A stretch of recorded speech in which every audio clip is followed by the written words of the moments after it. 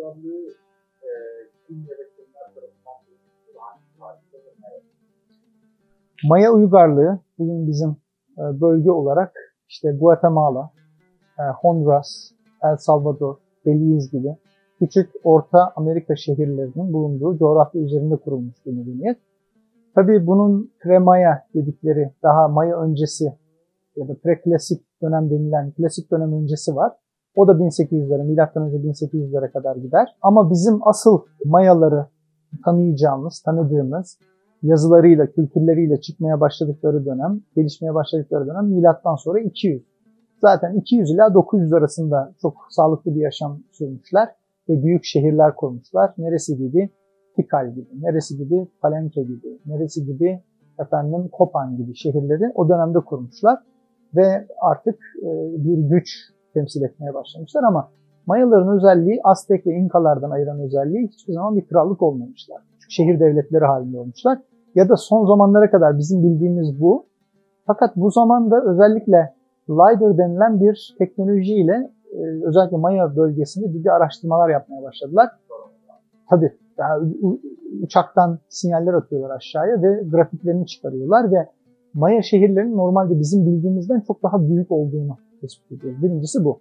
İkincisi yılan krallar dediğimiz bir dönem var. Yılan krallar çıkıyor ortaya ve krallığı bir arada tutmaya çalışıyorlar. Bu yine 600'lere falan verebileceğimiz dönemlerde. Bunların da işte kızlarını verdikleri, başka krallarla evlendirdikleri ve bu şekilde şehir devletlerini bir arada tutmaya çalıştıklarını falan görüyoruz. Enteresan bir de düğün seremonileri var. Bunu da anlatmayayım yani şeyde kalsın.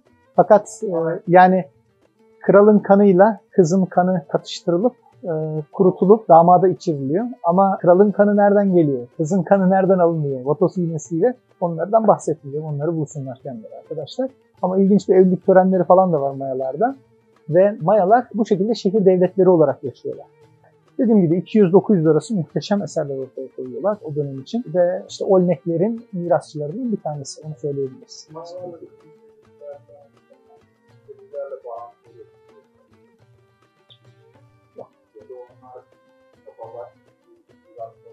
Şimdi söyledik milattan önce 20. binden itibaren gelmeye başladılar dedik. Milattan önce 10. bine kadar da muhtemelen geldiler. Bir kısmı kuzeye yerleşmişler, bir kısmı aşağı inmişler. Bağlantı dersen şehir devletleri halinde yaşamayı örnek gösterebiliriz.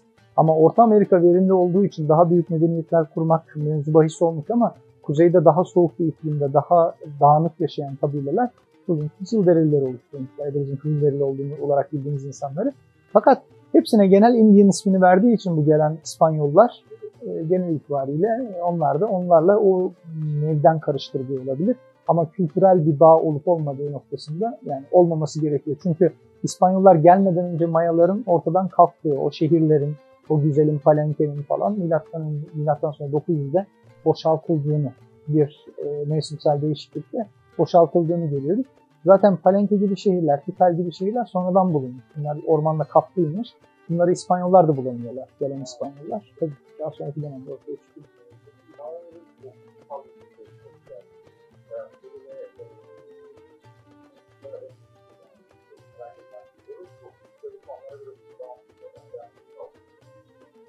Dokuz sayısını gene bilmiyorum.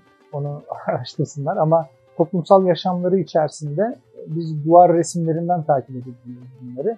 Genellikle Itza diye bir şehir vardır. Geç e, dönemdir, geç klasik dönemdir ama orada bulunan resimlerde mesela işte maviye boyanmış tanrılar, kırmızıya boyanmış asiller, işte sarıya boyanmış halk. O şekilde aynı Azteklerde olduğu gibi kültürel yaşam görüyoruz. Ama yazı daha çok kullanılıyor. Genelde her şeyi yazıyla süslemişler. Yazıyı bir süsleme aracı olarak da kullanmışlar. Az önce bahsettiğimiz gibi 1970'lere kadar çözülemeyen, ne olduğu tam olarak anlaşılamayan bir yazıları var. Ee, bugün de Maya kültürü tekrar tanıtılmaya çalışılıyor. O bölgede yaşayan insanlara da öğretiliyor bu hieroglifler.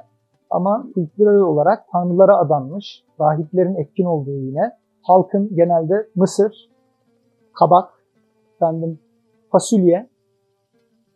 Şimdi Tikal diye bir şehir var. Kocaman bir şehir düşündüğünde şimdi yeni yapılan araştırmalarla burada yaklaşık 1 milyon insanın yaşamış olduğu tahmin ediliyor. Bu kadar insanı besleme adına ne yapmışlar? Çok geniş bir tarım alanına ihtiyaç var. Ekmişler kabakları, üzerine fasulye sırıkları ve aynı alanı birkaç şey, mısır koymuşlar. Mısırların etrafına fasulyeler sarılmış. Ve dolayısıyla bütün bitkileri o kısıtlı alanda yetiştirmeye çalışmışlar. Ya da buldukları tarım alanlarında. Ve ne yapıyorlar? Yakıyorlar mesela bir şey e, ürün vermeye başlamış bittiği zaman yakıyorlar. Başka bir bölgeye geçiyorlar. Bir iki sene sonra tekrar dönüyor.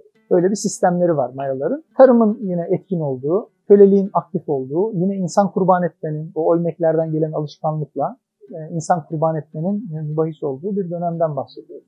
Mayalarla alakalı.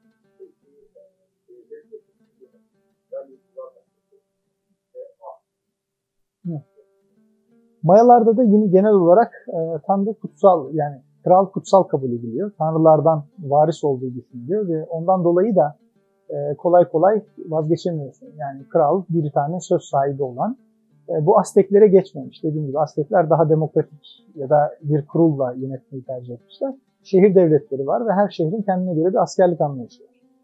Dolayısıyla tam böyle bir sistematik bir askerlikten bahsedemiyoruz. Genelde askerlik dediğin zaman da öyle şehir devletlerinin içerisinde eli silah tutan herkesin seferber edilip savaşçı olması mevzu olabilir. Ama değişik şekilde hani resmedilmiş, gene duvar resimlerinden genelde daha çok bildiğimiz, işte yazılar yeni çözülmeye başlandı, okunmaya başlandığı için ileride daha yeni bilgiler de olabilir ama e, asker kıyafetli, işte değişik hayvanların postlarını giymiş şekilde e, savaşan insanlar da görüyoruz. Ama bunları hiçbir zaman bilemeyiz. Yani bunlar gerçekten savaş için yetiştirilmiş özel kişiler miydi? Yoksa savaş için ayrı bir kostüm mü giydiler? Bununla ilgili bilgi sahibi olamayız. Ama mantıklı olan yine savaş için bir birliğin hazır tutulması, özellikle kralın korunması için bir birliğin tabi hazır tutulması şehir devletlerinin mevzu bahis olmuş olabilir. Bir imparatorluk olmadığı için böyle bir askeri, düzenli bir askeri sistemden bahsetmek yok.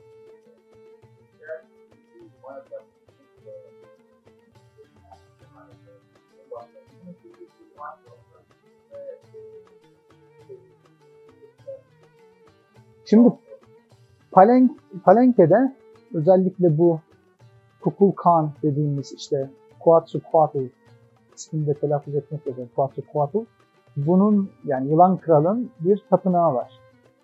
Bu tapınakta her merdiveni, her köşesi 91 basamaklı olan merdiveni var. Yukarıdaki en son basamakta 365'e tamamlanıyor. Demek ki bunlar şeyi biliyorlar. Yani tarihi biliyorlar. Döngü, döngüyü biliyorlar. Bir yıl 365 gün dediğini takip ediyorlar. Özellikle biz yine hani Olmeklerden gelen bir şekil, şekilde Mayaların tarihlerinde insan kurban etmenin olduğunu biliyoruz. işkencenin olduğunu biliyoruz. İşkence edilerek öldürülmenin ama Mayalarda farklı olarak işte ilk defa kendi insanların da kurban edildiğini, bir rahibin hazırlandığını mesela, kurban edilmeye hazırlandığını görüyoruz. Dolayısıyla onlar için kutsal bir şeydi. Takvime gelince bu 13 Ağustos 3114'te başlıyor. Milattan önce 3114'te başlıyor. Ve 31 Aralık 2012 tarihine kadar giden bir takvimleri var. Bu takvim başlangıcı ve bitişi. Dolayısıyla Maya takviminin sonu Mayaların da genel inancı olan o dünyanın sonu gelecek, bizler yok olacağız anlayışı olduğu için dünyanın sonu olarak isimlendiriyorlar. İşte Marduk mesela hiçbir bağlantısı yoktur. Marduk 2012 ile de Marduk e, Babil'in ay tanrısıdır. Tabii yani hiçbir alakası yoktur Mayalarla. Ama Maya takvimi 2012'de bittiği için onunla bağlantı kurmuşlar. Yani nasıl kurdular onu da bilmiyorum açıkçası. Ama Marduk'la bağlantısı yoktur Mayalı. Tarih olarak hesapladıklarını biliyoruz. Takvimleri olduğunu biliyoruz. Takvimlerinin güzel işlenmiş olduğunu biliyoruz. Bu noktalarda öndeler. Bir de tıp alanında öndeler. Yine e, İspanyollar geldiğinde İspanyollarla alakalı da şunu söyleyelim istersen. İspanyollarda hiçbir zaman yönetme anlayışı olmamış. Hiçbir zaman bir imparatorluk kuramamışlar yani dışarıda. Kolonileşmeyi bilmiyorlar. Bir imparatorluk kurmayı bilmiyorlar. Gelenleri kontrol edip onların mallarını, mülklerini almak üzere kurgulamışlar bütün sistemlerini. O yüzdendir bu kadar zulüm, bu kadar anlatılan işte sıkıntılar. Aynen öyle. Şimdi e, İspanya'da tartışılıyor bu mesele. Mesela geldikten sonra diyorlar ki bunlar insan mı öldürülebilir mi? Bazıları diyor ki bunlar işte Hristiyan değil dolayısıyla öldürülebilir. Öbürleri de diyor ki ya da işte insan öldürmeleri doğru mu? Bunlar diyor Hristiyan değil ister şey yapsınlar yani hani bunlar da öldürülebilir. Diğerleri de diyor ki hayır bu insani bir şeydir yani. Evlatlarını kurban etmeleri, çocukları, insanları kurban etmeleri kötü bir şeydir. Biz buna müsaade etmemeliyiz diye. Bunu tartışıyorlar Avrupa'da ya da İspanya'da uzunca bir süre. Ama İspanyollar kolonileşmeyi bilmiyorlar ya da bunlara medeniyet getirmeyi bilmiyorlar. Onlar sadece oraya altın için geliyorlar. Özellikle fakir bölgelerden insanlar geliyorlar. Çünkü orada bir makam elde ediyorlar. Ve bu o insanlarla ilişkilerinin çok kötü olmasını ve o insanların üzerinde tam bir hakimiyet kuramamalarını ya da o insanları öldürmeyle sonuçlanan bir sürece girmesine sebep oluyor. Şimdi gelelim Mayalarla alakalı kısma. Maya takvimi de işte Mayalar, İspanyollar oraya geldiğinde hastalanıyorlar. Kendi çözüm önerileri yok, kendi tedavi yöntemleri yok. Mayaların e, ya da Azteklerin o kadar gelişmiş bir e, tıbbi bilgisi var ki bu insanları tedavi ediyorlar. Hiç bilmedikleri yöntemler. Kakaonun gitmesi az önce söylediğim gibi ilaç olarak gidiyor. Kakaoyu bir ilaç olarak kullanıyorlar. Yani. Evet. Dolayısıyla tıbda gelişmişler. Astronomide gelişmişler. Uzun büyük tapınaklar yapıyorlar ve yıldızları takip ediyorlar. Gezegenleri takip ediyorlar. Venüs mesela Quetzalcoatl ile bağlantılıdır Venüs gezegeni. Onlarda. Yılan tanrısıyla.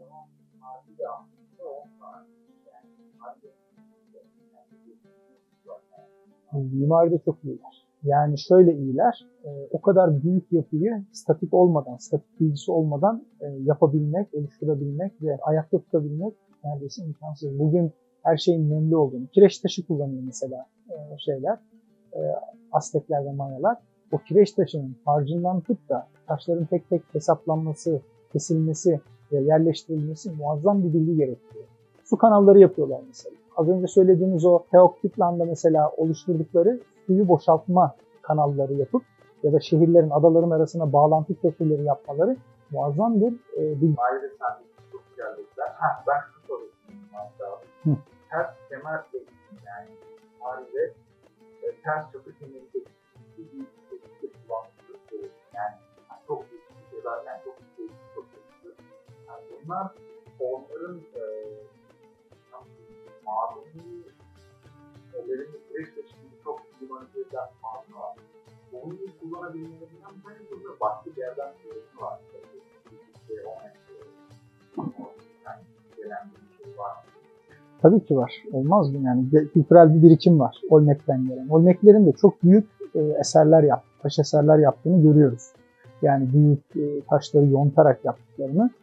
Şimdi işin enteresan tarafı ne biliyor musun? Yani mesela Mısır'da metal var. Metal kullanarak şey yapabiliyorlar. Taşları kırabiliyorlar, şekillendirebiliyorlar ama burada metal de yok. Dolayısıyla taşı kırmak için taş kullanıyorlar. Yani bu çok ilginç. Mimari teknoloji ise statiği çok sağlam olmayan yerlere çok büyük binalar inşa ediyorlar. Mesela bunun için bilginin hakikaten, mimari bilginin çok ileri düzeyde olması lazım. Şimdi ters bahsettiğim o ters kemer sistemi denilen sistemi taşları birbirine bindirme usulü yapıyorlar. Ve ellerinde insan kaynağı çok. Bunu anlıyoruz. Ellerinde o işin düzenini yapabilecek olan uzman sayısı çok. Çok önemli. Çünkü diğer Roma'da bahsetmiştik hatta. Mimarlar işte çizimlerini yapıyorlar, mühendisler çizimlerini yapıyorlar. O dönem içerisinde mimar mühendis diyemeyiz. Yani bugünkü inşaatçı diyebileceğimiz insanlar ve insan gücünü kullanarak yapıyorlar. Ama Aztek'te, Maya'da muhtemelen inşaatta çalışan o kadar büyük insan grubunun büyük bir çoğunluğu o inşaat işini çok iyi bilen insanlardan çıkıyor. Dolayısıyla o kadar harika bir şekilde o sistemi oraya kurgulamak, o taşları üst üste bindirmek, onun göçmeden sistemini sağlam bir şekilde yapmak çok ciddi bir uzmanlık ister. Uzun bir zaman içleri e, dolu zannedildi bu tapınakları. Sadece üst basamağında yer olduğu düşünüldü ama daha sonra keşfedildi ki özellikle o e, bahsettiğimiz Palenke'deki tapınakta mesela işte bir kral mezarı bulunuyor. Yüzünde zümrütten bir ya da yeşim taşından bir e, maske olan bir kral mezarı bulunuyor. Ama onun bulunması aşamasına kadar altı boş zannediliyordu. Ama o açıldığı zaman mezara ulaşabildiler. Ve o mezar bugünkü hierogliflerin çözümünde çok önemli bir şey oldu. Kral Pakal'ın mezarı. Merdiven var. Az önce bahsetmiştim sana. Merdivensel bir yani bir dairesel döngüyle böyle yılan gibi kıvrıla kıvrıla kıvrıla yukarı çıkan bir merdiven yapısı kurmuşlar. Ve onun etrafına inşa etmişler o. Dolayısıyla birbirine yaslandırma, birbirine dayat, dayama ve o taşların birbirine destek vermesini sağlayarak yukarı doğru yükselmesini sağlıyorlar.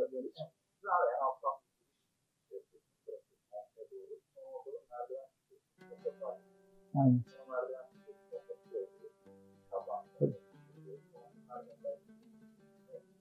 Mesela o piramitlerin yapımı da işte uzaylılar mı yaptı bilmem ne mi yaptı. Mısır'a girdiğimizde görürüz ama etrafına kum yapıyorlar. Bir kısmını bitiriyorlar. Önce alt kısmını yapıyorlar. Sonra etrafına kum yapıp daha sonraki katı çıkıyorlar. Daha sonraki katı çıkıyorlar. Hatta ilk yapılan piramitler vardır böyle çok dengesizdir. Küçüktür ve dengesizdir yani. İşte aynı Azteklerin içinde olduğu gibi direkt olarak piramit şekli olmayan tabi denemeleri var, örnekler var yani. Daha sonra Giza piramidi gibi büyük piramitler yapılıyor. Mısır konusunu işlerken de onu işleriz ama o bir yöntem o zaman demek ki. Ortak bulduklar. Aklın yolu bir mi diye sordun ya aklın yolu bir. Chichen Itza. Az önce bahsettiğimiz Quetzalcoatl. Evet onun tapınağı. O 91 basamağı olan iki tarafında.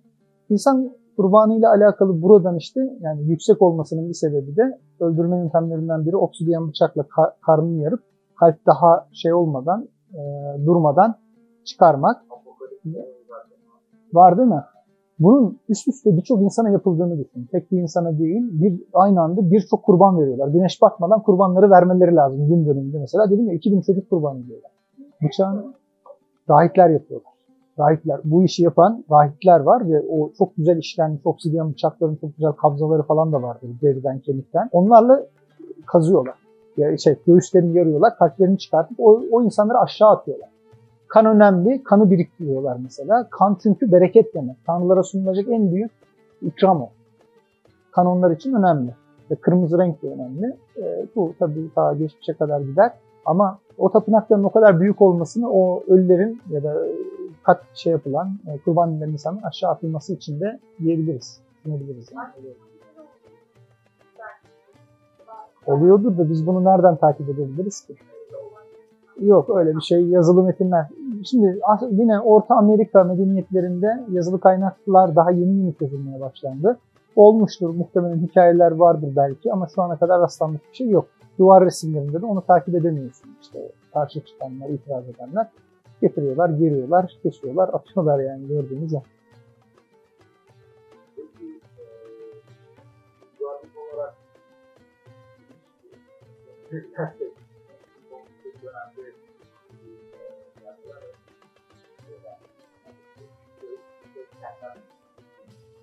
Şimdi bahsettiğimiz bölge Amerika'nın tam ortası. Çok verimli bir bölge. İşte Guatemala bugün gittiğinde denen yeşil çok güzel ve sınıra kadar işte Tulum'a kadar gidiyor. Tulum dediğimiz bugün de turistik bir şehirdir. Orada da bir şehir kuruluyor. 900'den itibaren şehirler terk edilmeye başlanıyor. Özellikle bu Copan, Palenque, işte Tikal gibi şehirler. Burada dediği gibi eğer şu an tespit ettikleri şeyler doğruysa 1 milyondan fazla kişi yaşadığını düşündüğünde yani 8-9 milyonluk değişik bir topluluk ya da 10 milyonluk değişik bir birlik olduğunu görüyorsun. Büyük şehirler işte en güçlü dönemlerini dediğimiz gibi 8. yüzyılda, 9. yüzyılda yaşıyorlar. 9. yüzyıldan sonra aniden kaybediyorlar. Muhtemelen bir mevsimsel değişim, kuraklık, insanların artık yiyecek bulamaması şehirlerin bir anda terk edilmesine sebep oluyor. Ve artık ondan sonra geç dönem devletleri olarak yaşamaya devam ediyorlar. Tulum şehirlerden bir tanesi mesela. Ama şehir devletleri olarak böyle daha az nüfusla, daha az insanla temsil edilen bir kültür var. Genelde bunlarda işte Tolmeklerin geldiği bu yine Tenochtitlan'la karıştırılan bir yer vardır. Teotihuacan diye. Teotihuacan e, bu her zaman gördüğün Meksika ile alakalı resimlerde en çok gördüğün o piramitlerin olduğu, geniş bir yolun olduğu yerdir, şehirdir. Orası da ölüm yolu diye adlandırılır. Kralların yürüdüğü yoldur kurban edilmeden önce. Orada yaşayan e, Toltek adı verdiğimiz bir topluluk var. O şehirde milattan önce 100 gibi, özür dilerim, milattan sonra 100 gibi kurulmuş. Dolayısıyla oradan gelen Tolteklerin de yavaş yavaş etkin olmaya başladığını görüyoruz. Bazı şehirleri işgal ettiğini görüyoruz. Özellikle Tüper'de mesela onun izleri var. Dolayısıyla kuzeyden gelenlerin de baskılarının da etkisi olabilir ama daha çok mevsimsel değişiklik olduğu kanısı yer etmiştir. Ve tarih sahnesinden Mayaların kültür olarak silindiğini görüyoruz. Küçük e, insan grupları halinde yaşasalar da onlara tam olarak Mayalar denemez. Ama bugün yaşayan, o bölgede yaşayan insanları da Mayaların kökeninden geldiklerini söylemek de yanlış olmaz. Çünkü çok az karışmışlardı İspanyollarla. Brezilya ile, Arjantin'le ve Meksika ile mukayese ettiğinde daha az karışmış olduklarını görüyorsun. Daha Maya kültürüne daha sağlam bir şekilde sahip çıktıklarını görüyorsun Orta Amerika kültürüne.